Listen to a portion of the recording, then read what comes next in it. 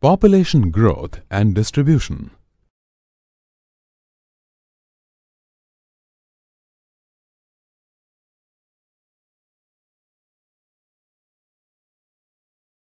In this module, you will learn about population growth and distribution. Population growth refers to an increase in the number of people that reside within a state or country.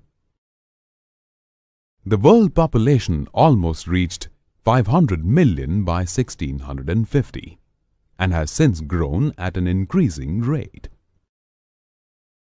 The following table provides information on the rate at which the world population has been increasing since 1804.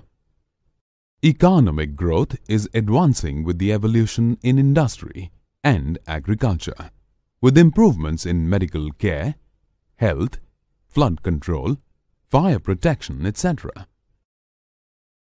All these elements have helped control the natural laws and thus decrease the number of deaths and increase in births. Population growth depends on the birth rate and death rate.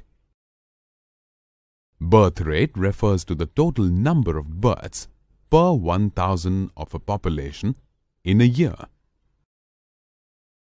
Death rate refers to the total number of deaths per 1000 of a population in a year. Population growth rate refers to difference between birth rate and death rate.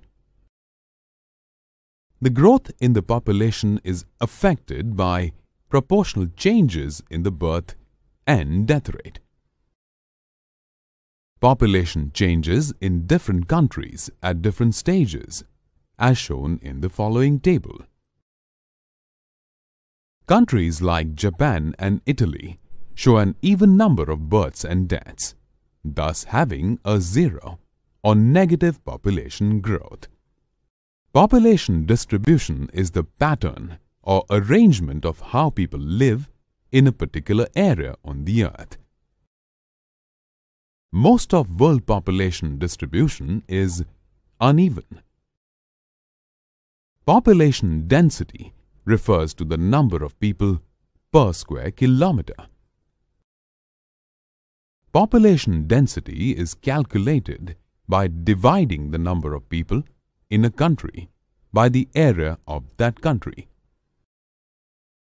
The following table provides information on the population density of some countries.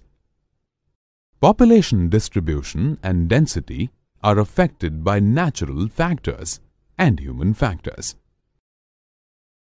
Natural factors that affect high density and low density of population in three ways, namely relief, climate and resources.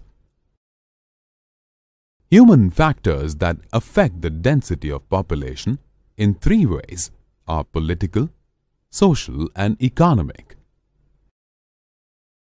The following table provides information related to the population distribution and density based on the natural and human factors.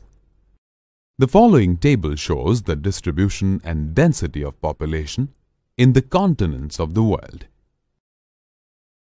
The following table shows population density in select countries across the world. It is important to observe that the countries having a high population may not have a high population density. Let us now recap all the important points that we have covered in this module on population growth and distribution.